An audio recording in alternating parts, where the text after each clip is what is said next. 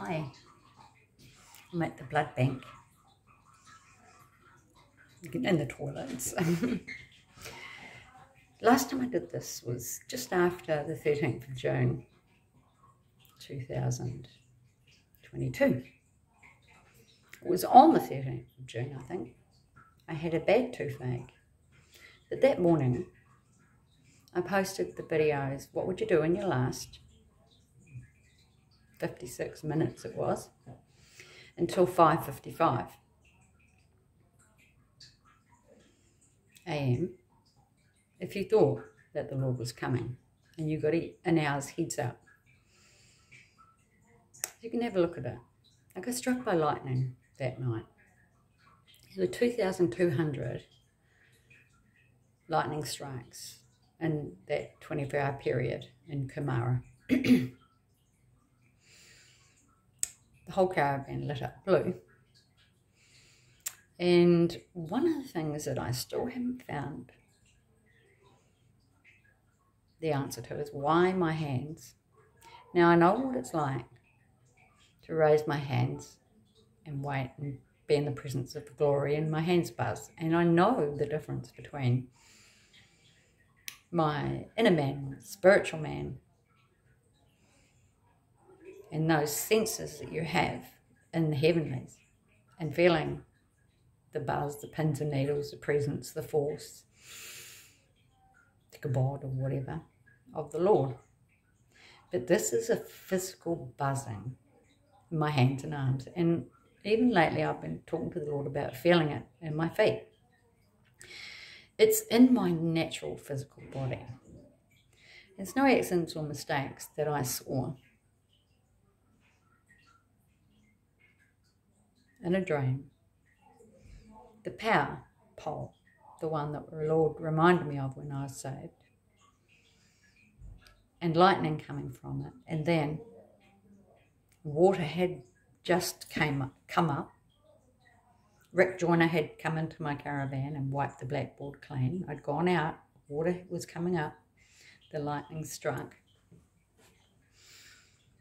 And I laid, and I know it's like in the spirit, think Toronto blessing. Oh, in my belly, I felt it then, was a ball of blue. And I've studied the colour. It's electric blue. That happened. Then I had authority. And I told everybody who was in the boat, Ferry cross the mercy to get in the ark that they weren't taking pillows. Ask Claire about the pillows.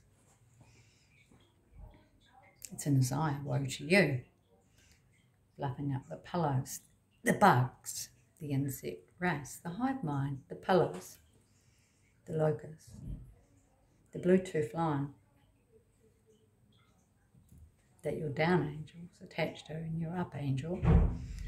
Oh, she got a shade to a star, he says. Well, I saw a star. The Lord said to me, I had to sleep out at night when I left to go up the mountain. I went hiking I couldn't find the hut. I slept out. It was a cool night, beautiful night, cool, cool night. Yet it had been snowing days before, middle of winter the end of May, beginning of June 2018. So when the God storm hit on the 13th June last year, that's what I did with my last hour.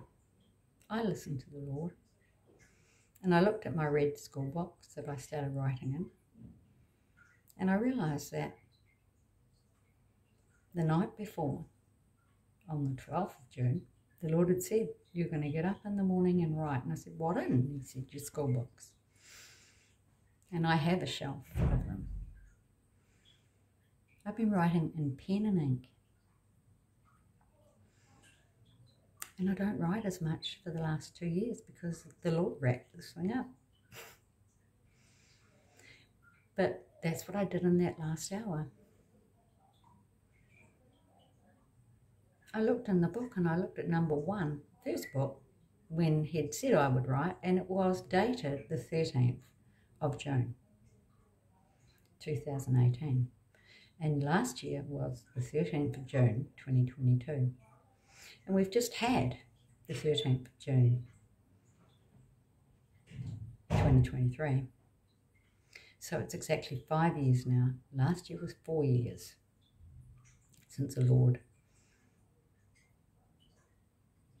called me scribe. And then I realized I'd bought a book, a Bible, and it's the message version, probably the version that changed the least of all your versions.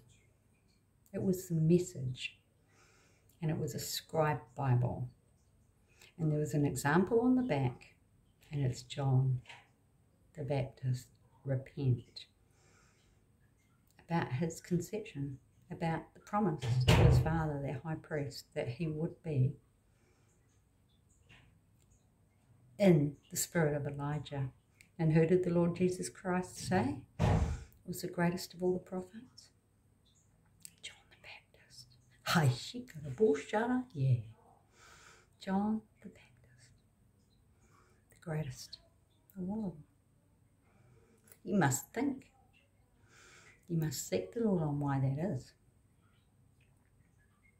He's made a way. He's making a way. So there's always repentance. Godly repentance and godly sorrow. So I'm in the blood bank. Last time I videoed like this, like I said, it was the 13th of June and I was in the dentist. And I saw the human skeleton, which reminded me of the teacher who keeps giving rapture dates. All based on the Jewish feasts. Well, Israel, I sought the Lord on, is who he says they are. Do, do you hear that? Israel is who I say they are. Right, I better get out of the toilet. Someone's here. I'm going to do part two, tell you about the blood bank.